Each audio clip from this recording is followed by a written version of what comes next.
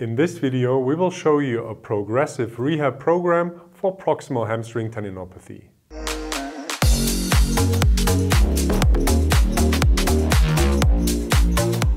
Enroll in our online course now. Link is in the video description.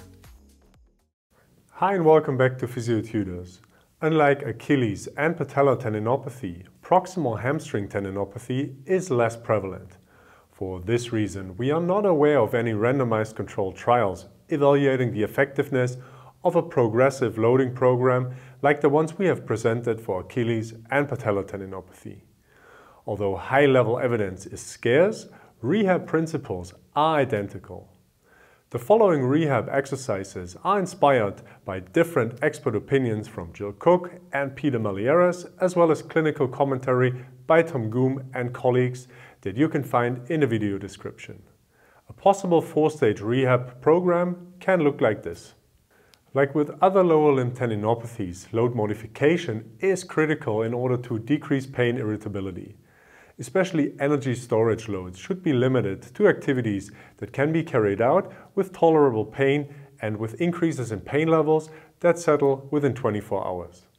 In a highly irritable tendon, it can be helpful to First, limit hamstring stretching if it is painful. Two, to modify sitting. For example, a special hamstring cushion can help or sitting on a rolled up towel. So weight bearing is mainly on the posterior thighs instead of the ischium. Furthermore, sitting with a posterior pelvic tilt is preferable or sitting on a higher chair. And three, squatting in daily function should also be limited if it's painful.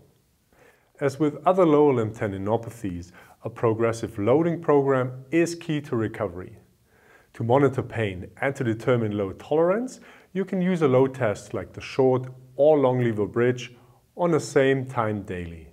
The patient carries out the test and rates the pain level for one repetition. Like mentioned earlier, all exercises should be carried out with tolerable pain levels and an increase in pain should settle within 24 hours. If this is not the case, this means that the patient is not load tolerant to those exercises yet.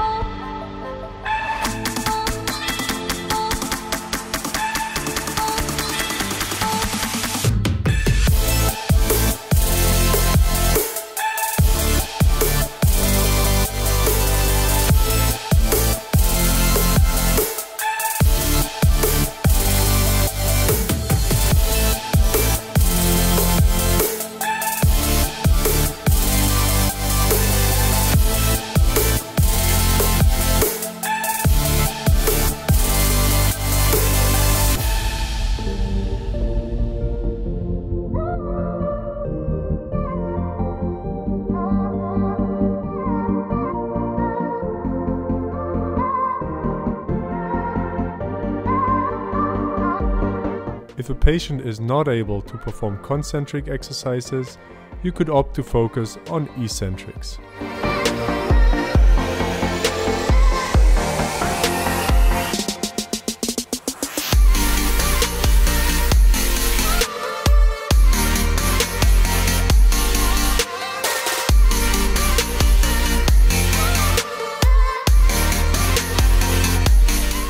Once 15 to 20 repetitions are easy, use the same progressions as with isometrics. So single leg and offset bridges, start with the most challenging with acceptable load tolerance.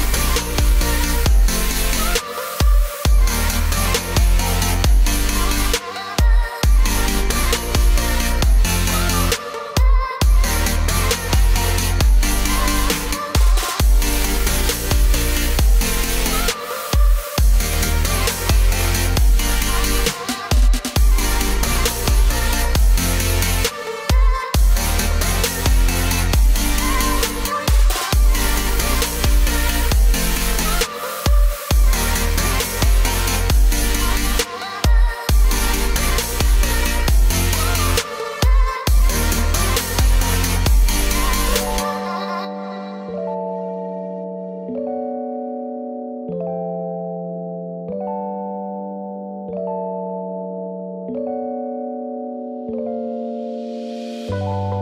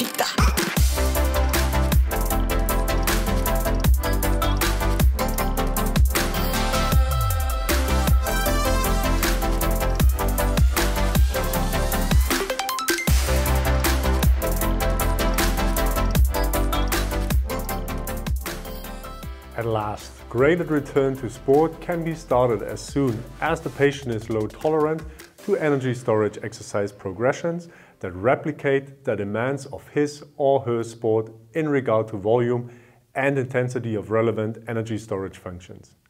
Return to competition is allowed as soon as the patient is load tolerant to full training. Alright, I very much hope you enjoyed this rehab video. If you did, please help us out by liking and subscribing to our channel and drop us a comment if you still have any questions. Check out our upcoming online course on muscle and tendon rehab by Enda King for more in-depth info on rehab on our webpage study.physiotutors.com. As always, thanks a lot for watching and I'll see you in another video. Bye.